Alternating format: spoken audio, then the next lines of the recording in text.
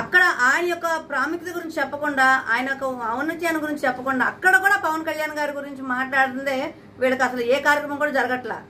అమ్మా రోజమ్మా నువ్వేదో పెద్ద పెద్ద పద్యాలు చెప్తున్నావు కదా అసలు ఆ పద్యాలు పలకడానికి కూడా నీకు అర్హత లేదు. నిజమే నేను చెప్తాను నేను ఇప్పుడు. ఆ వేమన గారి పద్యాల్లో చాలా అత్యంత ప్రాముఖ్యమైన పద్యం. మేలిపండు చూడు మేలిమై ఉండును పొట్ట విప్పి చూడు పురుగులుండు. ఆ మేలు మేలిపండు ఎవరు అంటే ఈ వైసీపీ ప్రభుత్వం.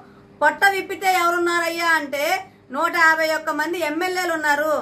మొత్తం ఆ ఎమ్మెల్యేల్లో కూడా నీచ నికృష్టభ అంటే అసలు ఇక చెప్పుకోవడానికి కూడా చండాలమైన పురుగు ఎవరైనా ఉన్నారు అంటే మొట్టమొదటిగా నువ్వు ఉంటావు ఆ నూట యాభై ఒక్క పురుగుల్లో.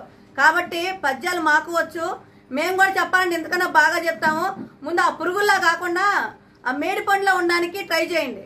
ఇంకొకసారి చెప్తాం మేడి పండు చూడు ఈ ప్రభుత్వాన్ని పాపం ప్రజలు చాలా చక్కటి ప్రభుత్వంగా ఉంటుందని చెప్పని ఎన్నుకుంటే పొట్ట విప్పి చూస్తే అందులో పురుగులు ఉన్నారు. నూట యాభై ఒక్క మంది పురుగులు.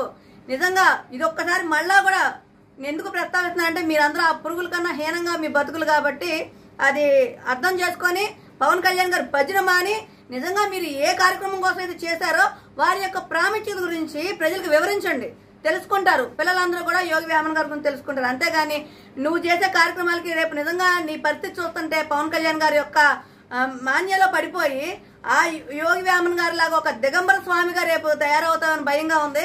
కాబట్టి దయచేసి మాకు అలాంటి దర్శనాలు మాత్రం ఇవ్వకమ్మా. పద్యాలు చెప్తే చెప్పావు కానీ ఆయన అవతారంలో మాకు అవతారంలో మాత్రం దర్శనం ఇవ్వ మాకు.